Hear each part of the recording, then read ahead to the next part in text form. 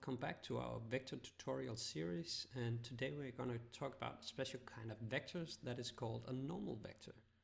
And what a normal vector is, is just a direction. So if you remember, a vector could be a direction plus a distance or so, but today we're just going to talk about the the direction part of the uh, of it and that is called a normal.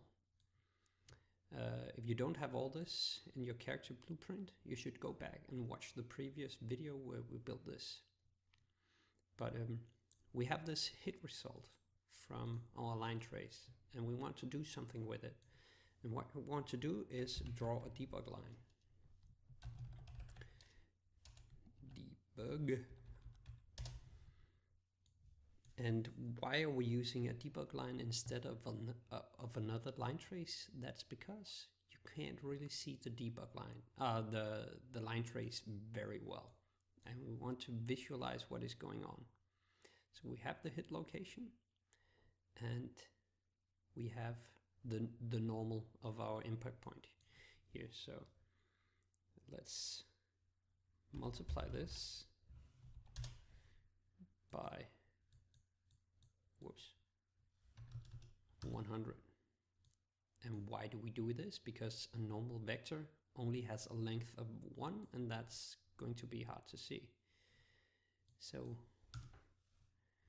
we add this vector, uh, the location, and then we add the normal vector multiplied by 100 to get a nice long line. And we do purple alpha channel and the duration is just going to be 0, 5 here. Maybe more. If you can't see it, just make this number a little larger. But uh, thickness 3 is good. And we should actually already be able to see what the normal is. So let's have a look. Yep. As you can see, it's just straight out from the box, straight up from the floor. It's hard to see because of the way a debug line is drawn, but it's it's just straight up from whatever you're hitting. Um, okay, and to visualize this better, go ahead, go to your starter content and go to props. Drag in a material sphere and pull it up a little bit. Whoops. And as you can see, it's straight out from the sphere wherever you are hitting it.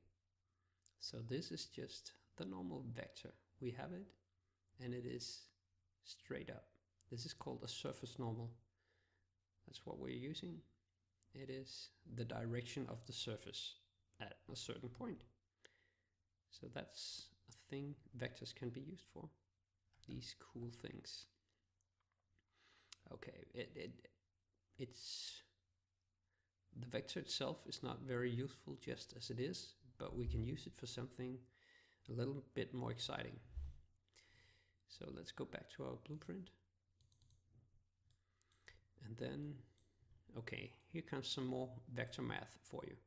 We have our end location and we subtract something from this. And what do we subtract? The start location of our previous line trace. And why do we do this, you ask? Because then we get a vector going from our end location to our start location. And just this part of it is what we're getting.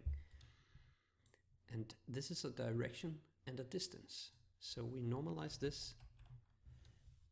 What happens when you normalize a vector? Well, you get a normal. Just like this one, it has a length of 1. So now we have this one. And then let's say we want to do something with it. The normal vector was pretty cool, but we have this vector and it's normal. So let's just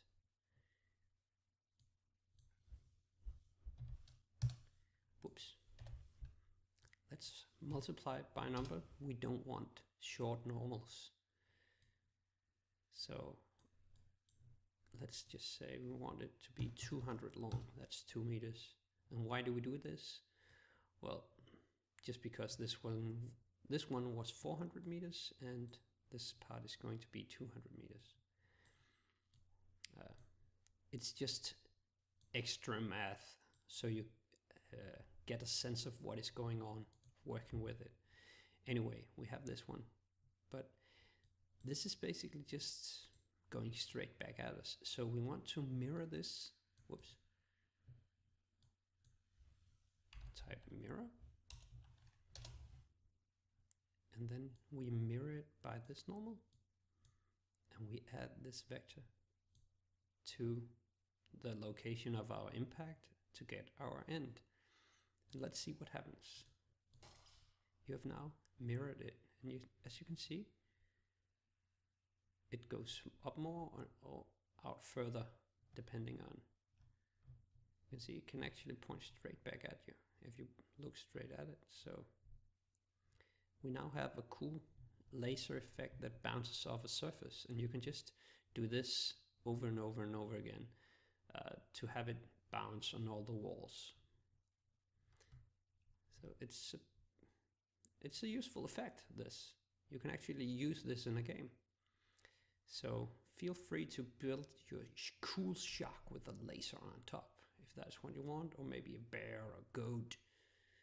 Everything with, with the laser is cool, remember that. But this is a way you could do a laser that bounces off a surface. I hope you enjoy, I hope you understand, and if you don't, please leave a comment, because then I can explain more. And if you have a suggestion of what you want to do, with vectors or anything else, please leave a, leave a comment so I can uh, consider it for a further video. I hope you enjoy this and see you next time. Bye bye.